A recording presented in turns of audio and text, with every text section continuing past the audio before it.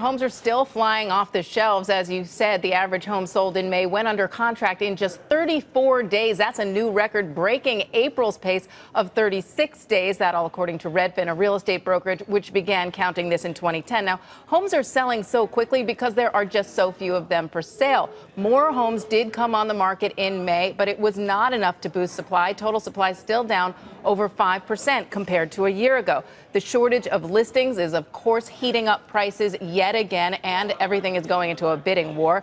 But higher mortgage rates may be coming out to start to affect these a little bit.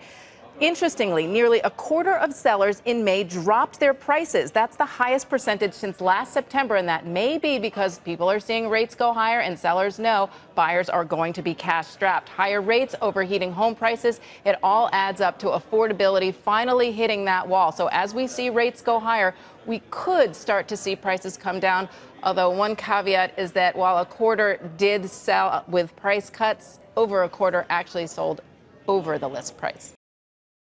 Hey there, thanks for checking out CNBC on YouTube. Be sure to subscribe to stay up to date on all of the day's biggest stories. You can also click on any of the videos around me to watch the latest from CNBC.